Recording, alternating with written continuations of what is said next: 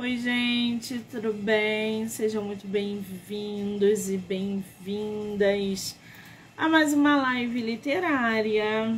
Estamos aí em plena quarta-feira, dia 11 de outubro, às 7 horas da noite, para bater papo literário, divulgar autores nacionais, fazer sorteio, falar de livro, hum, daquele jeitinho que a gente gosta. Eu, pelo menos, adoro.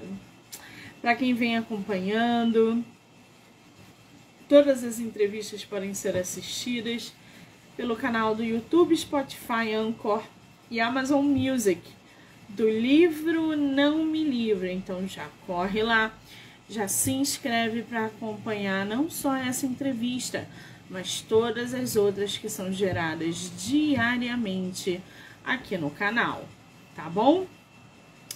Muito bem, para a gente dar continuidade nesse ritmo literário de quarta-feira, a gente vai conversar agora, conhecer, trocar uma ideia com a autora nacional Valéria Leão. Ela que tem vários livros publicados, participação em antologia, é membro de academia é, de letras de, de, de, letras em vários lugares, enfim, a mulher tem uma bagagem imensa, gente. É formada em direito, ela super topou bater papo com a gente para falar sobre seus livros, processo de escrita, construção de personagens, projetos futuros, entre outras coisas. Bom, isso, né? Eu adoro. Vamos ver se ela já entrou aí. Pessoal que está entrando, sejam muito bem-vindos, bem-vindas. Valéria, querida, vou aceitar você aqui.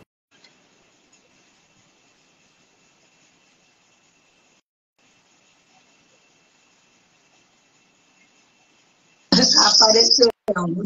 Ah, que delícia! Tudo bem?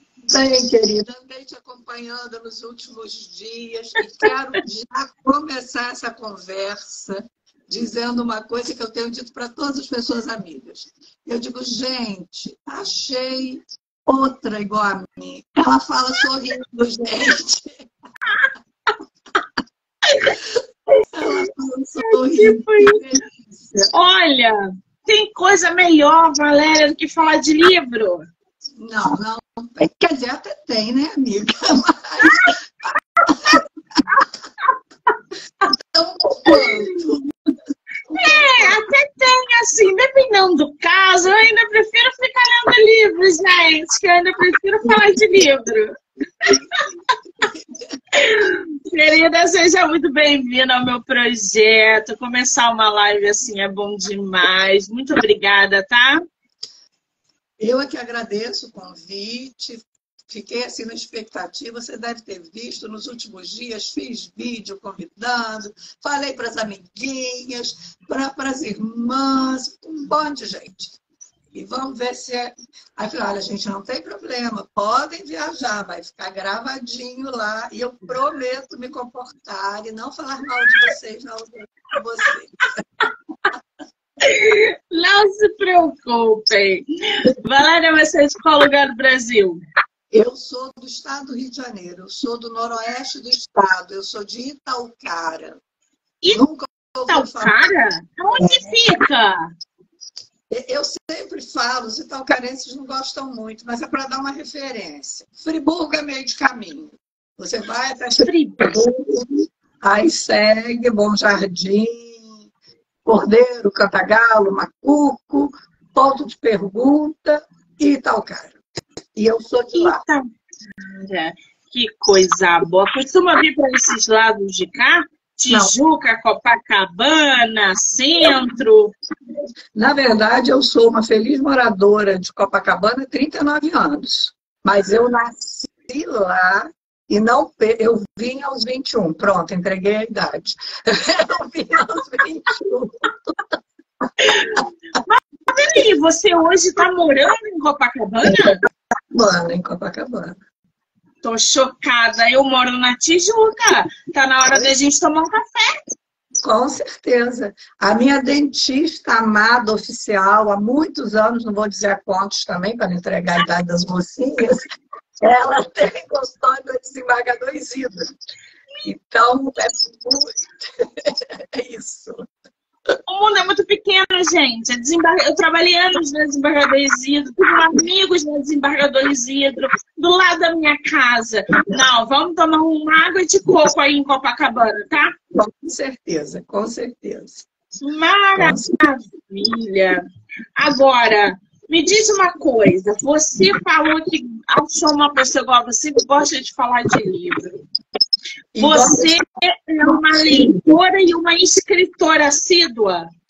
Eu estou muito mais, desde 2018 para cá, eu estou muito mais escritora do que leitora. A verdade é essa. A verdade, minha culpa, mas é. Porque, na verdade, assim, embora minha mãe sempre dissesse, eu era aquela criancinha chata que aos oito, aos oito anos de idade, lá na minha cidade, faz um bom tempo isso, eu dizia, quando eu crescer, eu vou ser advogada. A minha mãe dizia, vai ser advogada nada, vai ser escritora, ou vai ser jornalista. Eu sempre conto isso. Porque tudo começou assim. E não é à toa que o meu primeiro livro, Compartilhando Sentimentos para Não Se Focar com as Palavras, que era exatamente isso, eu tinha que compartilhar sentimentos e emoções e situações e eu, eu foi uma epifania. Eu sempre conto e vou contar sempre. Eu estava passando na frente de um hospital, do Copador, descendo aquela rua do Copador, para quem conhece, é uma descida, é uma ladeira. E eu me achou, sabe aquilo? Lembra da hiena do desenho animado? Oh céu, oh vida, oh como eu sou infeliz eu estava num dia de hiena. Quando eu passei em frente ao Copador, tive uma epifania. Falei, deixa de ser ridícula. As pessoas que estão aí dentro, isso foi no pré-pandemia, isso foi 2018. As pessoas que estão aí dentro têm motivos para estarem infelizes. E estão aí lutando pela vida. De lá, olha, eu andei umas né, acho umas cinco quadras de lá até a minha casa, e já cheguei em casa com a novidade. Olhei para o meu marido, meu primeiro revisor, meu, prime, meu primeiro leitor, meu primeiro revisor, meu companheiro de todas as horas. É, esse leão é dele, mas é da mamãe também, porque a mamãe é Souza Leão, e eu casei com o Leão. Você vê que a fera é fera. Cheguei em casa e disse assim, amor, vou escrever um livro. E este livro vai se chamar Compartilhando Sentimentos para Não Se Focar com as Palavras. O primeiro texto, que eu ainda não escrevi, vai se chamar A Profetisa. E vai ser em homenagem à mamãe, que sempre disse que eu seria escritora. E essa pessoa já estava com 50 e alguns anos, quando resolveu escrever o primeiro livro. E assim eu fiz. E nasceu com DNA de ser filho único. Era para escrever este livro sabe? Tipo assim, mamãe está viva, mamãe está saudável, mamãe sempre disse que eu seria escritora. Eu tenho tanto material que eu vou colocando em rede, que eu vou escrevendo e tal, vou juntar isso tudo no livro de crônicas. Lindo, né? A pessoa diz assim, vou escrever, vou lançar o livro. Meu marido disse assim, nossa, mas ler os pensamentos agora?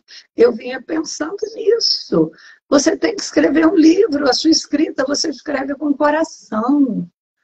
Aí eu digo, será, gente? Mas como é que a pessoa vai lançar um livro se a pessoa não é desse ramo, se a pessoa não é desse mercado, nunca flertou com o mundo literário?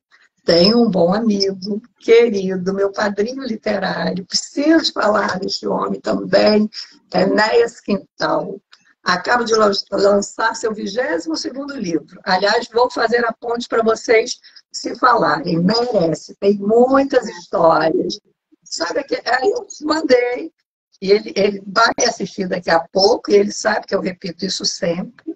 Mandei mensagem, Enéas, vou lançar um livro, me ensine o caminho das pedras. Militar, que é, me disse, o que você pretende ao lançar um livro? Retorno financeiro ou satisfação pessoal? Eu dei uma gargalhada e falei, por quê? São inconciliáveis? Não dá para ter as duas coisas. Não dá. Não dá. Mas, assim, o retorno financeiro, a gente sabe, para autor desconhecido, é difícil, cara. Mas a alegria. Olha, olha a gente aqui. Por que, que a gente está tendo essa delícia de conversa? Porque eu lancei isso. Eu acho que um, você tocou em várias coisas interessantes, né? E, e publicar livro no Brasil é um ato de coragem e disposição. Você precisa ter coragem para colocar para as pessoas quem é você verdadeiramente. Você precisa ter coragem para encarar o mercado editorial e você precisa ter coragem é, de entender que na literatura você não vai sobreviver nem viver. Você vai ser lido. E olhe lá, você não vai ter retorno financeiro algum, né? Então, é, é, é óbvio, existem exceções, tá, gente? Mas a gente está falando de escritores como é, é, de publicação independente, escritores de editores de pequeno e médio porte, porque os bombamães que bombam hoje no mercado, eles têm uma estrutura não só de marketing, eles têm uma estrutura, eles conhecem as pessoas certas. E conhecer as pessoas certas no meio literário não é todo mundo, não adianta. Não é para mim, não é para fulana, não é para ciclana. É, é todo um processo. Né? Eu conheço escritores que estão há 20 anos no mercado, com não sei quantos livros publicados, e eles simplesmente não conseguem viver da literatura. Eu acho isso um caos, um absurdo isso. Chega, dói meu coração quando eu vejo um negócio desse. E é, é, a gente quer ser lido. Então, Exato. a coragem, ela envolve a gente aí em vários quesitos quando a gente se propõe a publicar. A nossa autora falou que é, é, esse primeiro livro, aliás, foi publicado em 2019, não foi, Valéria? Pré-pandemia. Lancei, lancei na Livraria da Travessa em março, sabe aqueles dias da Travessa Ipanema? Sabe aqueles dias que chove, que as pessoas não conseguem sair de casa? Foi num desses dias. E mesmo assim, ao final, eu tenho tanta gente amorosa, querida na minha vida, que ao final eu preciso me despedir naquele momento que a gente vai lá falar com o funcionário, com, com a gerente, né? Olha, como é que foi, quantos livros vendeu, quanto deixou de vender. Ela me diz assim, a senhora está de parabéns. Porque para uma autora desconhecida, e ela falou uma autora desconhecida, e eu notei que ela queria engolir o desconhecido imediatamente. Eu falei, meu bem, fique tranquila, eu sou uma autora desconhecida. Num dia como hoje, com uma chuva dessas, a senhora conseguiu vender bem, a senhora movimentou a casa e tal. E aí veio logo depois, isso em março de 2019, eu comecei a trabalhar na coisa, e aí veio a pandemia, aí me chamaram para fazer poesia. Eu falei, gente, eu não escrevo poesia. Eu escrevo crônicas, coisas que me acontecem. Não me vejo, por exemplo, escrevendo um romance, sabe? Assim, obras grandes. As pessoas até dizem, ah, por que não escreve? Por que não escreve a história do seu pai, da vida do seu pai? Porque meu pai foi um político do interior e a memória dele na nossa região é muito querida e tudo mais. Por que, que não faz isso? Eu digo assim, gente, eu escrevo pequenos contos, até escrevi do encontro do meu pai com a minha mãe, Noite de São João. Foi a primeira vez que eu fui para a Bienal. Fui numa antologia com, é, com contos, Noite de São João. O encontro dos meus pais. É lógico que tem licença poética, de história, mas afinal de contas eram os meus pais, eu podia contar do meu jeito a história. Entendeu? Claro. Então, eu não me vejo. Aí, vamos fazer. Não, faz. Aí alguém me disse assim, Valéria, você gosta tanto de ler, tarará, tá todo mundo preso dentro de casa. A gente não sabe cantar, a gente não toca um instrumento, mas a gente pode gravar vídeo de poesia para mandar para as pessoas. Pega uma aí que você gosta, pega uma. Eu me lembro até da pessoa dizendo: pega uma Cora, pega uma Cecília, pega uma dessas aí que você gosta, grava um poema. E aí, ai, o amor da minha. Uma mocinha que mora no meu coração sem pagar aluguel acabou de entrar. Minha irmã caçula, Viviane. Estou com carinho. Linda, meu amor. E, e aí eu falei, não, gente, eu posso ser tão incompetente que eu não consigo escrever uma poesia. E aí escrevi uma, mandei. Aí a pessoa disse, você tem outras? Eu falei, não, essa é a primeira, não sei nem como sair. Faz outras, ficou ótima. E com isso eu fiz, aí fomos gravando, eu acho que uns três ou quatro vídeos de poesias autorais. Uma coisa que eu não dou conta de fazer, minha querida Monique, e olha que eu tenho amigos que fazem, que são desses, dessas sessões todas de trovadores e tal. Eu tenho um amigo muito querido, e ele tem que fazer prova, aí manda tudo. Eu digo, gente, a minha poesia não tem, não tem métrica, não, às vezes não tem rima, sabe? E, ao mesmo tempo, outras pessoas vêm e dizem assim, não gosto de poesia, mas eu leio a sua e entendo tudinho. Então é isso, a gente deve ser lido e ser entendido. Agora, prova... gente, maravilhoso. Quem nunca leu, leia alguma obra de algum trovador, alguma. Ai, gente, é. Chega a alma dói de tanta beleza que a gente encontra é, em, em, trovadores. Nem sei se o nome é, é, cordão mesmo, quando um faz uma prova e o outro faz a prova seguinte, e eles vão fazendo e vira aquele cordão de trova. Eu acho a coisa mais linda, mas eu digo assim, não, gente, Vamos me deixar aqui na poesia, nas crônicas, nos pequenos pontos. cada um, cada um com estilo, né, gente? Por favor. Agora, ô Valéria, me diz uma coisa, compartilhando sentimentos para não sufocar com as palavras. Você tem ele físico aí com você? Tenho. Gente, esse aí é um dos livros da nossa autora. Hoje você tem quantos livros publicados? Quatro. Quatro livros Quatro publicados. Livros. E antologias algumas. Mas, assim, é, eu até venho dizendo isso, eu tenho que contar porque parece uma coisa assim de uma pessoa, olha como né, é pretensiosa a moça. Mas não é. Eu, principalmente na época da pandemia, tinham aquelas que era e-book, não sei o quê, e eu fui me perdendo, entendeu? E mais de 10 com certeza. E eu sempre digo, não escrever sob encomenda. Não me peça para escrever. Aí um querido, que virou um amigo lá de São Paulo, editor, é, me convidou para participar de uma antologia que o título era Racismo Não. Eu fiquei em pânico. Eu disse, não é o meu lugar de fala. Eu posso desagradar tentando agradar. Fui dormir assim, naquela ansiedade de no dia seguinte ter que dizer para o querido editor que eu ficar, ó, estou lisonjeada com o convite, mas não me sinto capaz. Monique, eu acordei com um poema pronto. Sabe quando você senta e escreve? Como não era o meu lugar de fala, antes de mandar para ele, eu mandei para um outro amigo. E me mandou aplausos, aplausos, aplausos. Ele disse, por mais que você se esforce, você jamais conseguiria ser delicada, principalmente com um assunto tão sério. Cadê esse ponto? É um poema. Um poema. Lê pra gente, que agora eu quero conhecer, gente. Eu até marquei, que eu sabia que foi assim, a primeira, a primeira, não mentira, não foi a primeira antologia. A primeira foi Mulheres pela Paz, Poetas pela Paz, Vamos Triunfar. Mas, assim, por encomenda, essa foi assim, tipo, o tema é esse é pegar ou largar, e eu apavorada. Mas é, é mais ou menos grande. Mas é assim, racismo não.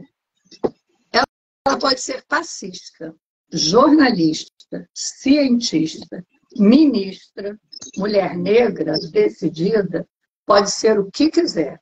Ele pode ser atleta, poeta, astronauta, desembargador, homem negro, destemido, conhece bem o seu valor. Eles podem escolher qualquer caminho, seja ele o caminho que for.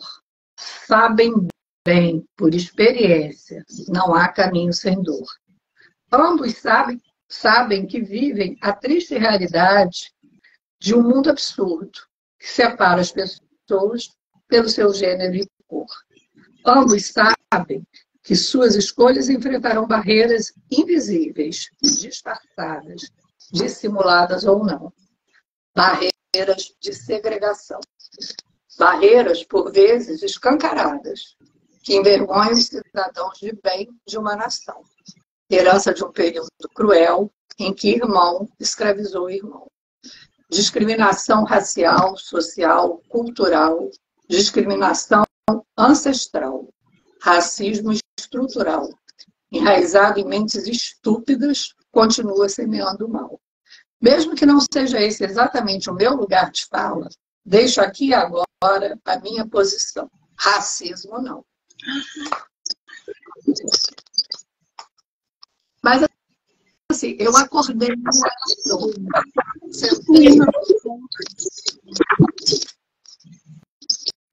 Gostou? Eu achei forte, impactante, preciso. Achei um tapa na cara, achei um, um, um concreto de palavras, de rimas. Eu adorei, está de parabéns, adorei. E é difícil, né, gente? É difícil, não é fácil, não. É, e eu me lembro assim que eu, eu escrevi, mandei para o amigo, o amigo mandou a resposta, disse, manda agora para o editor, tem que mandar.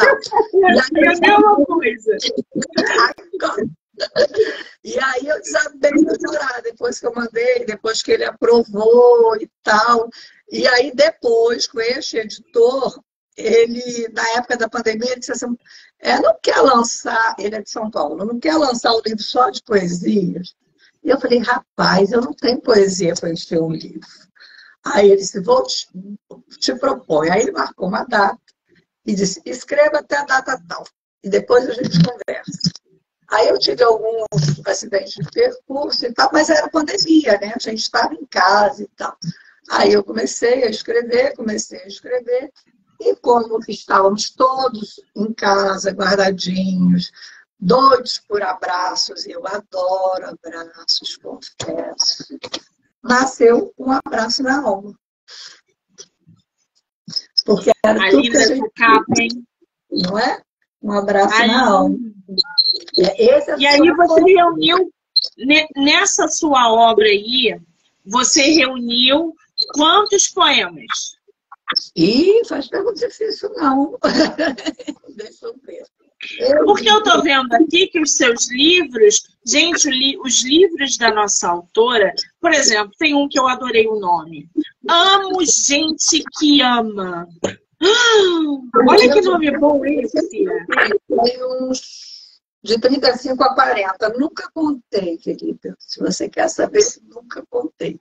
Mas tem dos 35 a 40 poemas. Isso na pandemia. E eu estava escrevendo nesse período os afetos que nos afetam. Aí mesclei poesia e crônica. Esse um, Aliás, um abraço. Esse aqui foi lançado num restaurante em Copacabana. Porque as livrarias não estavam fazendo por conta da pandemia. E o povo estava voltando. Aí a gente fez uma edição pequenininha. Eu digo foi o único que se, que se pagou no pré-lançamento e na noite autógrafo. Primeiro, que era uma edição menorzinha. E assim, estava todo mundo doido para sair de casa, estava todo mundo, ninguém aguentava mais. Né? E um abraço na alma, quem não quer? Um abraço na alma. Aí fomos para um restaurante onde uma amiga muito querida, que canta na noite, cantou. Então foi um encontro assim, de abraços, de abraços na alma, com uma, uma jovem escritora, não uma escritora jovem, mas uma jovem escritora, e uma cantora que me tem nome aqui em Copacabana, Mary, e fui, os amigos foram. Eu tenho muito bons amigos, a verdade é essa. Eu tenho umas pessoas muito queridas na minha vida, que incentivam. Alguns, como eu sou advogada, quando eu lancei o primeiro livro, e que era para ser filho único, algumas clientes disseram assim: já realizou seu sonho, já lançou o seu livro, não deixa a advocacia, porque você, eu não quero perder minha advogada. Ah, porque minha advogada é brilhante, eu não quero perder minha advogada. E a gente fica, podem ficar todas calmas, que eu não vou. A advogada vai ter que sustentar a, a escritora, não, tem, não rola de outro jeito. Né? Mal sabem elas, é, mal sabem. Não E, aí, quando eu entendi isso, foi rápido e tudo, eu falei, gente, esse tá pago, graças a Deus, porque a gente sabe, né, Monique, o perrengue que é a gente botar um livro na praça. E, e eu acho muito curioso, inclusive, e aí fica a dica, né, fica a dica, a quem interessar que você, como eu, e talvez até mais, porque você está nessa estrada há mais tempo e convive mais com autores e com esse mundo literário, é, a gente sabe, para chegar nisso aqui, quantas pessoas trabalharam, quantos empregos gerou para tanta gente. Aí, aquela pessoa acha que ela é muito especial e, portanto, ela merece ganhar o seu livro. Eu tenho. Exato. Não é? Exato. Eu tenho pessoas muito especiais na minha vida, muito, muito, muito, muito. E que fazem questão de pagar. Porque elas dizem, aquelas as mais íntimas, sabe? Na minha noite autógrafo que eu fiz na minha cidade, que eu fiz na Travessa e depois fiz. Quer dizer, aí eu vou falar nome de uma outra cidade que você nunca ouviu falar também. Aperibé. Aperibé. A Peribé e Itaúcara são cidades co-irmãs, assim, são pertinho uma da outra. E eu vivi a minha primeira infância, até os 21 anos, eu vivi nas duas cidades. Uma coisa muito curiosa é que a gente morava em Itaúcara, mas o papai tinha toda a vida dele comercial em Aperibé, que era distrito de Santo Antônio de Pádua. Então, papai a vida toda foi político em Santo Antônio de Pádua e depois veio a ser o primeiro prefeito de Aperibé, e por isso que as pessoas acham que eu tenho que escrever, contar essa história do papai, eu vou contando assim, nessas oportunidades. E aí eu fiz num clube lá. Os meus irmãos foram. Os meus irmãos compraram. Então, assim, eu acho que as pessoas têm que ter essa noção. A gente dá livros, sim. A gente doa livros, sim. Eu dou livros para aniversário, eu dou livros para pessoas que eu acho que merecem ganhar. Mas tem gente que gasta numa noitada um monte de exemplares da gente. Exato. E numa coisa que só vai te dar ressaca no dia seguinte, que vai te fazer vomitar no dia seguinte. Gente, eu acho que é, é eu não sei, eu não sei. É, é, é difícil porque assim, as pessoas acham que é, 40 reais num livro é caro, 50 reais num livro é caro, mas não pensam duas vezes em comprar, sei lá, uma caixa de cerveja ou um lanche que custa o mesmo valor. Exatamente, o livro, o livro físico, eu sou do livro físico, né? Você abraça, você cheira, você chora com ele abraçadinho. Eu acho. Agora, essa, eu tenho uma história muito divertida dessa coisa de, de, não, de dar livro. Porque tem gente que é sem noção. Vamos combinar. E assim, perdoem os, sem noção, os que são sem noção, mas a verdade é essa. E a, a, a, a amiga querida que fez o prefácio, aliás, que prefácio, gente. Eu amo os meus gente. É enorme, não posso. Leia um trechinho, então. É enorme. Mas eu vou ler uma parte que aí todo mundo diz assim, Valéria, mas Geralda. Geralda, ela se chama Geralda Freire Marques. E é uma amiga muito querida e é uma mulher cheia de títulos, assim, não dou nem conta de dizer todos os títulos de Geralda. Mas eu acho que o que ela deve gostar mais é que ela é professora titular da UF. É, com os doutorados e doutorados, mas eu, eu conheço, conheço a Papa Goiaba que ela é, eu acho que é isso que deve. E aí ela me escreveu um prefácio lindíssimo. Em determinado momento, ela diz assim: Veja se não botou o sarrafo lá em cima. Olha a responsabilidade. E como o Brasil é rico, olha isso. E como o Brasil é rico e prolífero em cronistas excepcionais. Por exemplo, Rubem Braga, o maior de todos. Carlos Drummond de Andrade, entre tantos excelentes entre tantos excelentes, fazendo da crônica um texto curto e preciso sobre migalhas do presente e eventos do cotidiano. Um gênero requintado na literatura brasileira. A eles junta-se Valéria. Eu dou conta disso. Autora com limpeza de estilo, elegância e simplicidade literária. Olha que delícia isso. A advocacia me dá prazer, a advocacia paga as minhas férias, sim. Mas tem coisas que é a literatura que dá para gente. Não. A gente só encontra na literatura e a gente só é preenchido a partir da literatura. Tem coisas que nos preenchem que só vêm da literatura. Esse é o tipo de coisa. É. E uma coisa engraçada dessa dos livros, né, de, de ganhar livro e tal, porque tem gente que eu acho que realmente a pessoa acha, como meu sobrinho, que acaba de fazer 12 anos, eu acho que ele estava com uns 11 anos. Ele é meu leitor, tá? Tenho foto dele lendo meus livros e tal. É Gustavo.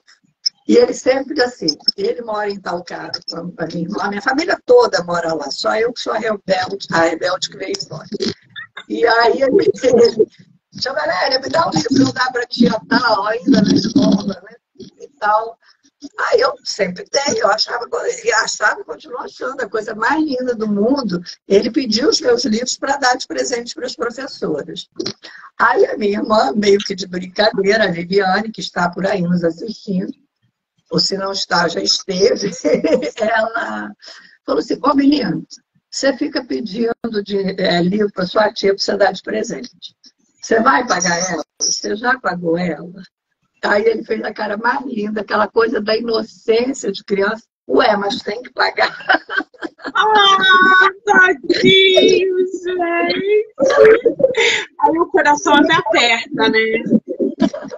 Mas ele é uma criança, gente, né? Depois que a minha irmã explicou para ele, ele ficou meio que constrangido de pedir de vez em quando. Digo,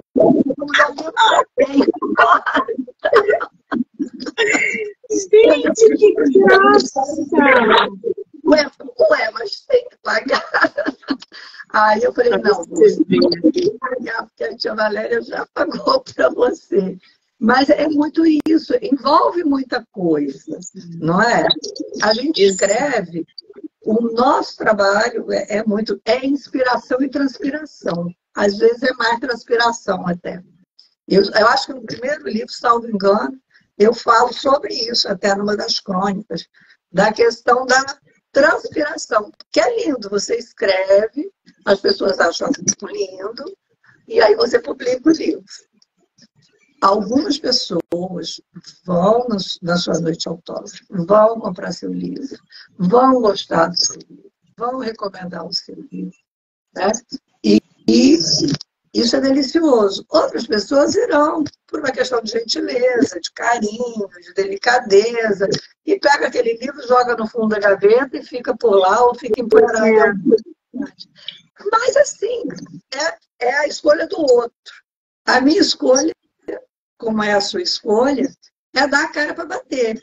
A gente escreve, lança, espera. a gente quer ser lido, a gente quer gajeiro, óbvio que a gente quer gajeiro, óbvio, mas a gente quer ser lido. Sabe, quando um amigo meu, a esposa dele estava até acompanhando a gente. A ele está rindo lá, porque eu contei a história do Gustavo.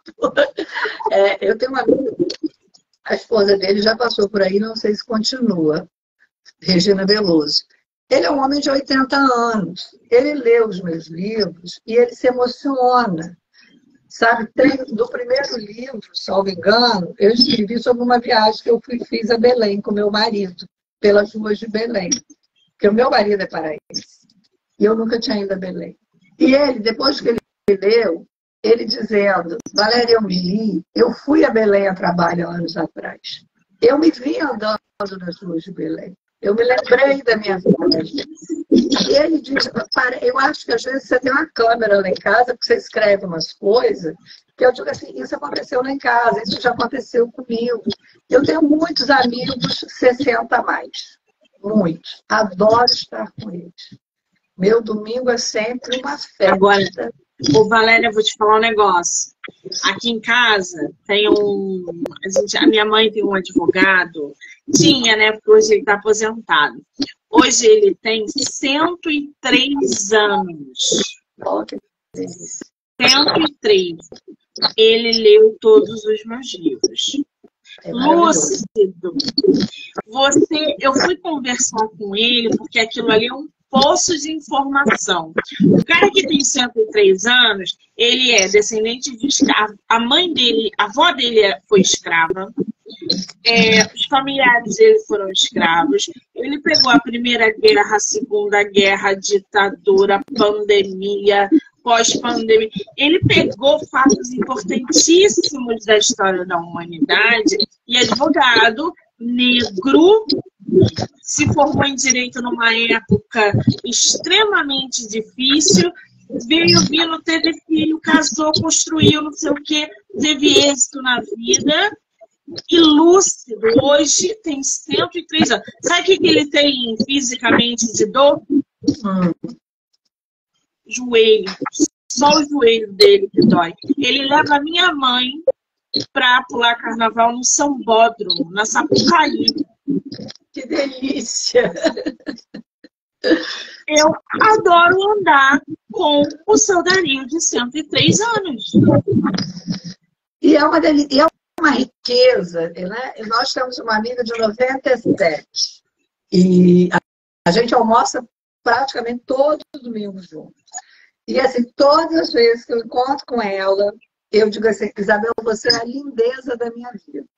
Vou te mandar depois, amanhã talvez, um vídeo curtinho dela dançando na última festa que nós fizemos.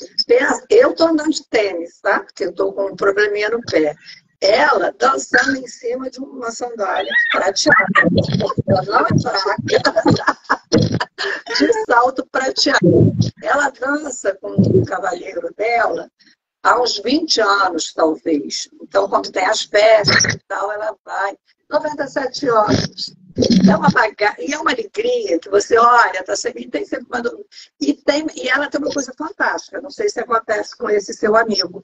Ela tem memória recente. Porque geralmente a gente vai, né? Tem aquelas que já estão lá guardadinhas no nosso arquivo, mas ela tem memória recente. É uma coisa impressionante. Ela, eu acho que ela é personagem já uns três livros meus. Porque tem coisas assim que eu digo, gente, não dá. E, e no último eu dedico, botei o nome, com sobrenome, todinho lá, Isabel, o nome dela. Ela é maravilhosa. Então, eu tenho esses amigos que eu estou sempre junto. Eu tenho amigos jovens, óbvio. Tenho amigos da minha geração, óbvio. Né? Amigos de infância e tudo mais. Que graças agora às redes sociais, né, a gente está podendo resgatar tanta gente da vida da gente, é uma delícia. Mas assim, essa turma 60 a mais, eu adoro. Eu, eu faço um lançamento de livro, você olha assim, você olhar os vídeos lá da Travessa de Ipanema desse outro, que coisa mais linda. Eu lendo um poema vestido de, vestido de chita e elas todas sentadas, elas e eles, porque tem os senhores também, mas em menor quantidade. Então, assim, escrever é isso, gente. É, é contar essas histórias, entendeu? Às vezes dói. Eu sempre digo, a gente tem que se colocar no lugar do outro, mas tem que tomar cuidado, porque pode doer. E às vezes dói, né? Exatamente. Agora, ô, ô Valéria, me fala uma coisa. Você, com cinco livros publicados, eu sei que é difícil responder essa pergunta, mas qual foi o que você mais gostou de escrever? Qual é o teu xodó? Na verdade, são quatro, né? São quatro ainda, porque o quinto ainda está sendo gerado. está sendo produzido. É isso. Olha, se eu tivesse que dizer, eu diria que o compartilhando, este aqui, vai ser sempre o xodó, porque foi o primeiro, porque eu escrevi da minha mãe. E eu tinha tanta certeza que ia ser o, o, o primeiro e o único, que eu ponho a palavra fim no final. E depois do segundo eu boto fim. Agora não boto mais, eu boto reticências. Meus livros agora não tem mais fim. Entendeu? Tem reticência. É justo. É, eu acho justo. É, nasceu um DNA de. Porque tem uma historinha. É, alguns assuntos eram muito dolorosos para mim. E por uma série de circunstâncias, eu guardei por cinco anos. Fiz uma jornada muito difícil durante cinco anos com meu marido e com esta minha irmã que está nos assistindo, é, tendo eles por companheiros. E eu me lembro, até minha irmã é muito católica, como eu também, e eu me lembro que ao final eu disse assim: Puxa, eu estou chegando de uma cavalgada no inferno. Aí ela disse: Nunca mais diga isso, porque Deus esteve com você o tempo todo e ele não anda nesse lugar. E aí eu prometi para ela que nunca mais eu ia dizer que eu estava chegando de uma cavalgada. Mas naquele momento a sensação era essa, entendeu? E como era muito difícil, e por outros motivos também, familiares, eu acabei. Em alguns momentos eu, eu, eu não sou eu, é uma ela. Então, esta ela, hoje mesmo eu encontrei uma amiga e a gente estava falando sobre uma pessoa, ela disse, era impossível que essa pessoa não saiba. Porque qualquer pessoa que leu o último texto do seu livro, do seu primeiro livro, sabe que essa ela é você. E se esta ela lá é você, todas as elas que aparecem no seu livro, agora, quase 10 anos depois, né? até porque eu acho que se eu fiquei por aqui, é porque Papai do Céu disse: olha, fica mais um tempo, porque você vai ajudar as pessoas. Agora tem uma famosa aí que está lançando um livro sobre câncer de mama, e eu li uma entrevista dela, da revista Ela. E ela, na, na entrevista, ela diz assim: todos os dias eu perguntava, por que comigo? Gente, por que não comigo? Não é? Hoje eu estava conversando com a minha médica sobre isso até. Ela disse assim, gente, é uma pessoa pública. Mas para ganhar dinheiro, para vender livro, né? Eu acho assim que cada um conduz de uma maneira a, a, as suas questões. Mas eu acho que uma pessoa pública tem muito mais responsabilidade, né? Então, eu acho que tem. Eu sempre, eu sempre digo, eu repito como um mantra na minha vida. Senhor, mesmo que eu não entenda, eu sou muito, tenho muita fé em Deus, em Nossa Senhora, São José, São José, inclusive é íntimo, é meu Zezinho, assim. Se ele gosta, a gente vai saber no futuro. e, e, Tô, e, e, é um mantra que eu repito. Repeti muito há 10 anos e venho repetindo sempre. Senhor, mesmo que eu não entenda os seus desígnios, eu os aceito. Só lhe peço. Nove por mais esse dia minha fé. Eu nunca perguntei por que comigo. Por que não comigo, gente? Não é? Então, não assuntos que são muito delicados. Né? Aí é o meu lugar de fala diferentemente do racismo, aí é o meu lugar de fala. E, então, tem muito essa ela, essa ela, essa ela. Mas quem lê o primeiro livro é, já sabe que essa ela sou. Hoje, uma que eu nem, nem me lembrava mais, que ela, ela não foi na noite autógrafo, porque foi o dia que a cidade parou debaixo d'água. É, ela hoje ela disse era impossível que a pessoa não tenha percebido que essa ela é você. Eu falei, nunca perguntou. E como nunca perguntou, eu também nunca disse. porque eu acho que deve ser uma coisa tão dolorida para essa pessoa que essa pessoa prefere ficar, né? Tá, eu e meu marido falando sobre isso hoje. Então é isso. Eu acho que se eu estou por aqui, virando a chave dos 10 anos, é para ficar escrevendo, para ficar recebendo esses abraços maravilhosos na alma. Regina Veloso, que é a esposa desse amigo que tem 80 anos que é meu fã, assim, ela acabou, ela até escreveu aí que eu vi. É, nós temos todos os livros. Amor, ela não tem todos os livros. Ela tem todos os livros na mesa de centro da sala dela. E eu sei. Maravilha! coração da sala. E eu sei que não é aquela coisa que Valéria vem aí, vou botar os livros. Porque quando eu não estou lá e vejo filmes e fotos de outros amigos em outros eventos, os livrinhos estão lá, bonitinhos, em cima da mesa. Então, isso é uma coisa que não sabe, não tem preço, não tem preço, tem valor. Não tem preço. É, é, muito gratificante esse retorno, esse feedback, esse carinho, é, essa, esse interesse do leitor, seja ele íntimo ou não, quando alguém se interessa pela nossa obra. Quero ler teu livro, quero conhecer o teu escritor. Cara, é um negócio assim que a gente não consegue descrever. É, é só sorriso. Agora, Ô Valéria, você super topou fazer sorteio, né? Vamos sortear o quê? Sortear o mais novinho. Amo gente que ama.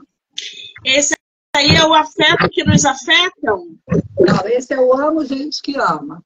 As minhas amo gente que ama. Amo. Nome de alguns poemas. O que acontece? As minhas capas, pelo menos três delas, são muito parecidas. São.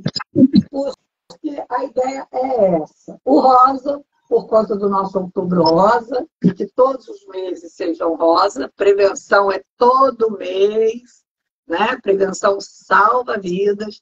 E porque e é sempre uma mulher em movimento. É sempre isso. É sempre acreditando que o melhor está por vir. Então, essa mulher caminha na praia, essa mulher caminha, talvez seja o quê? Um campo de. Uma floresta. Isso, uma floresta. E a ideia é essa: é a leveza e o movimento. Eu não dou sugestão de capa. Eu digo leveza e movimento. Aí a gente vai. Chegar uma hora que essa mulher já vai ter caminhado por todos os shows, mas como a minha filha. como a minha filha. Luísa Leão quer estar na primeira viagem tripulada para Marte, quem sabe não vai ter uma capa de uma mulher indo para Marte. Adoro! As paisagens do nosso planeta, quem sabe a gente não faz uma foto de Luísa que está lá em Oklahoma se preparando, fazendo os cursos dela para ir para Marte, que quer ser astronauta. Da mesma forma que ia ser escritora, aos oito anos, Luísa sabia que queria ser astronauta.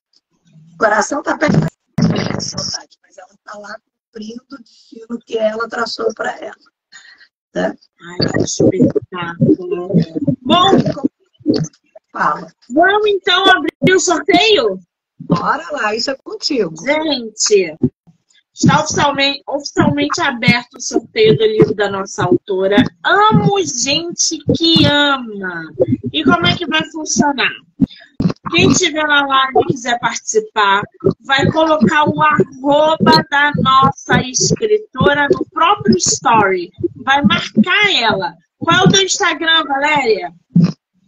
Valéria.adv.leão. Sem assim. Vou escrever aqui para vocês, hein?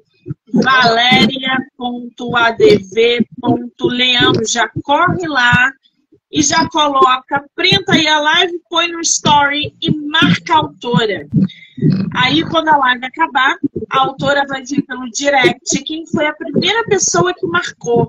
E aí vai enviar o exemplar para o ganhador ou para a ganhadora. Pode ser assim, Valéria? Pode ser assim. Pode ser. Que assim. delícia! Agora, eu vou te falar, hein? Eu acho que esse nosso café vai render assunto, porque uma hora não é o suficiente. Acho que a gente tem que falar mais, conversar mais, eu quero saber demais. E não dá tempo, porque é tão bom, gente, que passa rapidinho. Eu falei hoje para umas amigas, eu falei, gente, não é combinado tá? A gente eh, não combinou, ela não mandou as perguntas para mim, eu não tenho as respostas prontas, mas a gente sabe que a gente vai falar dos livros, dos meus livros, de vida, de coisas profundas, de coisas leves. E uma coisa que eu preciso muito falar, destacar. A minha academia, que se chama ACAPLAC, que é em Aperibé, está fazendo 17 anos hoje de fundação. Eles estão lá na Câmara Municipal, Academia Peribeense, de Letras, Artes e Ciências. O nosso presidente lá, sou católica, mas é meu eterno pastor, Irã. É o nosso presidente.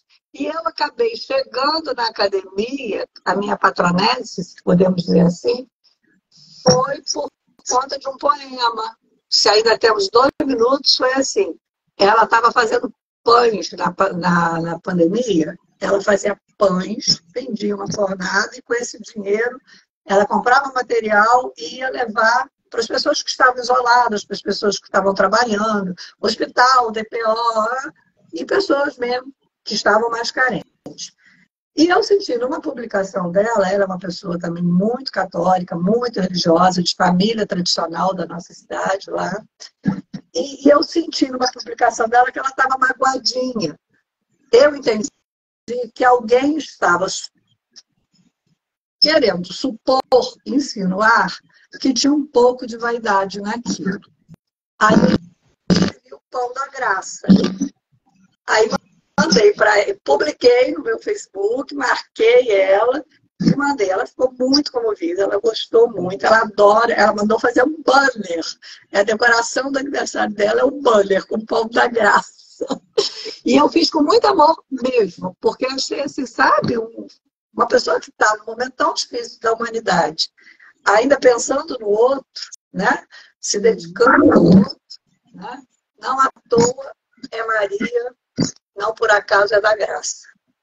Eita, coisa boa. Bom, eu vou marcar a autora aqui na live como colaboradora. Então vocês vão poder assistir no Instagram dela, no meu e em todas as plataformas do podcast. Do livro Não Me Livro, canal do YouTube, Spotify, Anchor e Amazon Music. Valéria, eu só tenho que te agradecer por esse bate-papo incrível, pelas risadas, por essa atmosfera maravilhosa.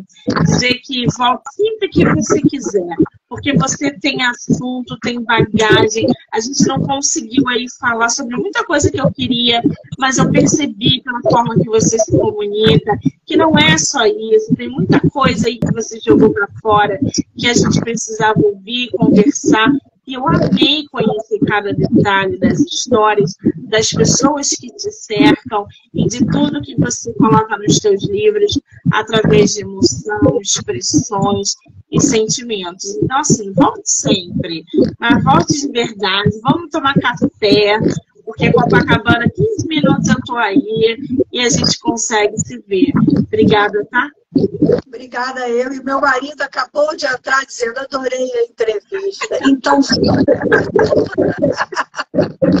foi bom para você também, meu bem, super valeu.